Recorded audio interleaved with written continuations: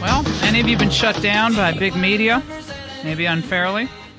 Uh, we will be continuing to focus on this issue.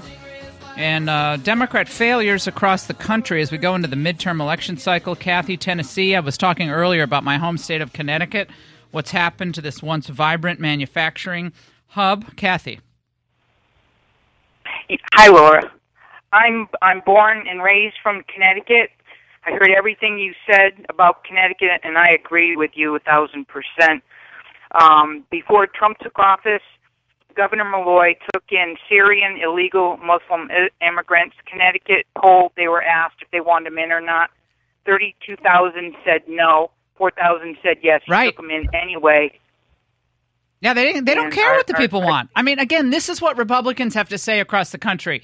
We actually are listening to what you want. You want safety, security for the homeland, for your state, for your family, and you want prosperity. You want the chance for rising wages. Uh, we want Americans the focus to be the focus of our of our electoral politics. We're going to give you that. That's what Trump is doing. Set aside all the side issues and the and the media histrionics. How is this economy working for you? If you like it, then guess what? You got to vote for Republicans in the midterms. Are you going to lose all that you've gained?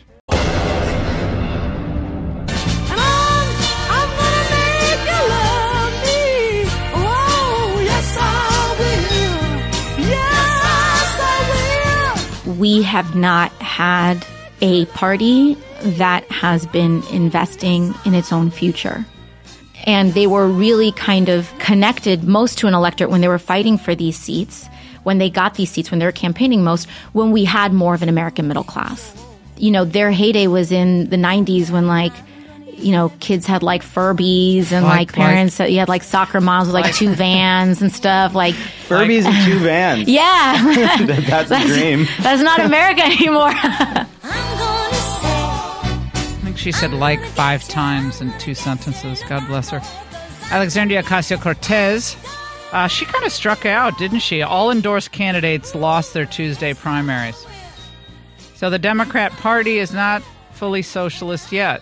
Uh, she had a whirlwind tour of the United States, stumping for Abdul El Sayed for governor of Michigan, Fayrouz Saad in Michigan's 11th congressional district, Cori Bush in Murray- Missouri's 1st, and she's backing cr- congressional candidate Kaniela Ing in Hawaii. Uh, El Sayed lost his bid for governor by 20 p- points, according to numbers published by the New York Times. Sayed came in fourth in a five way race, capturing only 18% of the vote. Cori Bush also lost by 20 points. Hi, uh, Hawaii's primary election will be August 11th. That Hawaii candidate should run, not walk, from uh, Alexandria Ocasio Cortez's. She she has to come out today and say, "Thanks, but no thanks. We're just fine here in Hawaii without you." But what is the future of the Democrat Party? Uh, Cortez says uh, her her likes notwithstanding, uh, said that that old era of 1990s soccer moms that's over, that's gone. I keep thinking, okay, well, his impeachment notwithstanding, a two-term president, we had a budget that was balanced and even a budget surplus during Clinton. But those days are gone, man. If you're a Democrat, I would say you need that type of coalition working together again. Republicans and Democrats. After Gingrich came in, we re- reformed welfare. Uh, the economy was doing really well. I mean, gosh, it's an interesting formulation. Not sure I understand it, but we thought we'd talk about this issue of the future of the party and Democrat Party, where it's going. Uh, believe it or not, we have a lot of Democrats listening to this show, and it is a fascinating topic given the rise of some of these more socialist sentiments. Uh, joining us now is Brian Dean Wright. He's a former CIA ops officer, opinion writer, Democrat advocate for rural and blue collar workers, and David Sessions. He's a writer for the New Republic and used to write for Daily Beast Slate. He's active in the Boston branch of the Democratic Socialists of America. David, um, it's great to have you on. Uh, welcome to the show. Uh, how do you see this Ocasio Cortez's endorsements? Is that Is that surprising that none of them really worked out? Is this just the beginning of the socialist kind of takeover of the Democrat Party, or where are we? Hi, Laura. Uh, thanks for having me. Um, no, I don't. I'm not really surprised. Um, uh, Alexandria's endorsement is not going to uh, not going to change the conditions in certain uh, districts overnight. Um, and and yeah, it's. I think you're. I think you're right that it's. Uh, it's only the beginning. I, I'm not. I wouldn't even say that uh, that her victory itself, as as big of a deal as it is, um, necessarily means that there's going to be a socialist wave in the Democratic Party. Um, it's it could happen, but uh, I don't think we're there yet.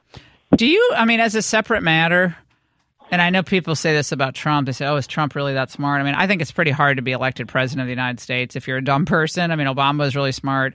Bush is smart in his own way. I mean, everybody everybody has their way of communicating and connecting with people. But do you think Alexandria uh, Ocasio Cortez is is sharp? Is she smart?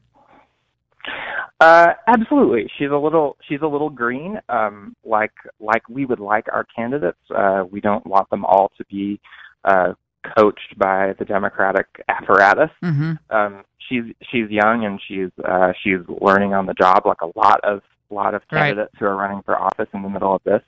Um, uh, so yeah. Well, I think yeah. I mean, I think she is young. She's very attractive. She's, I mean, she's having a good time out there, and she is right. But she's know, she's incredibly she's incredibly smart. She's incredibly strategic. She's made all of the right decisions in terms of uh, who who she allies with and her her messaging so far. Um, so Mhm. yes, I think she's. I think we're. You know, we're only we're only seeing the the beginning of of what will be a long career. yeah. I think a lot of these millennial types or whatever generation she is at age twenty eight. I don't even know what generation that is anymore. But they all have to stop saying like so much. It's. I'm sorry, but I say this to my kids. I mean, no offense, but it makes you sound unintelligent. Even you could be the most intelligent person. I have 50 year old friends who say like all the time. It's They just, do. Um, it's disturbing. Even, old people do it. Even now, old people, so, uh, yeah.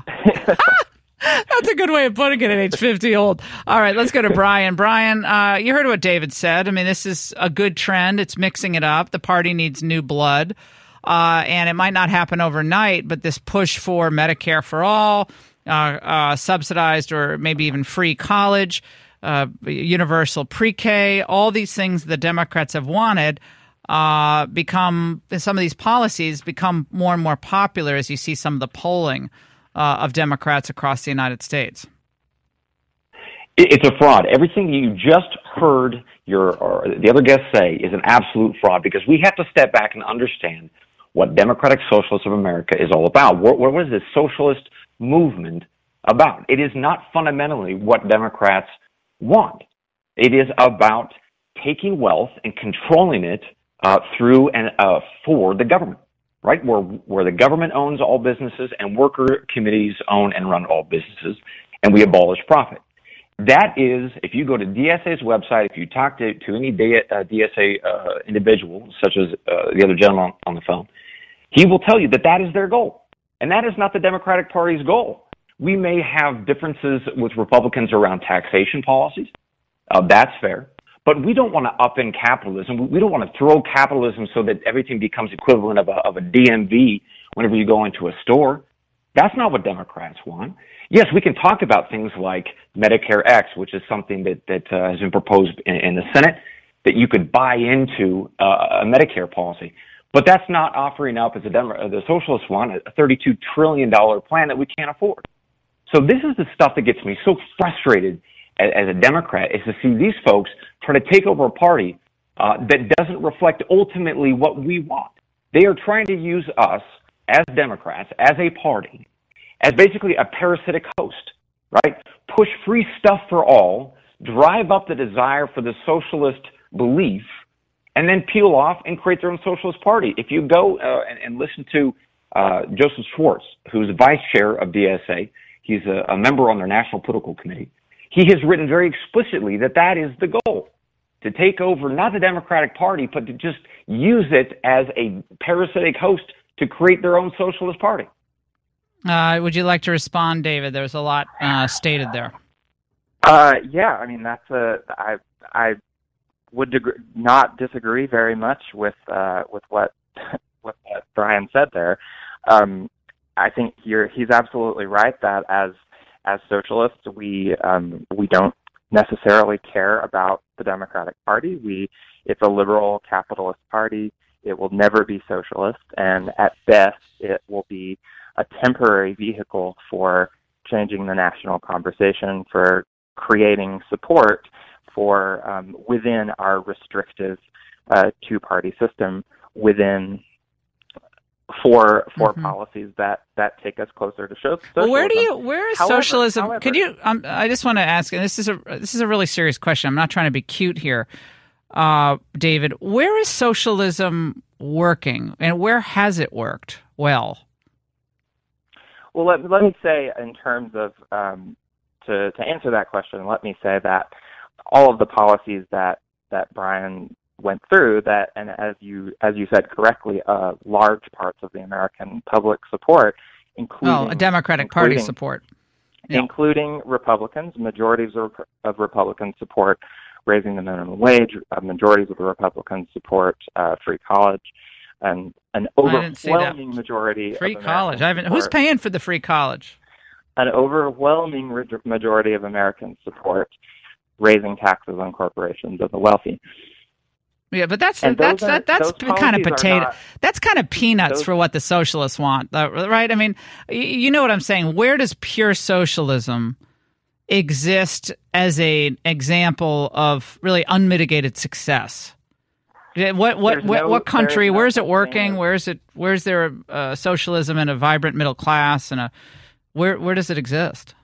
There is no such thing as pure socialism. Every every social, you know, so-called socialist country has arisen in specific historical conditions spe- with a specific history and a specific ideology. The, the Soviet Union and China and Cuba all have very different ideologies and very tried to apply them to very different countries and very different stages of, of development.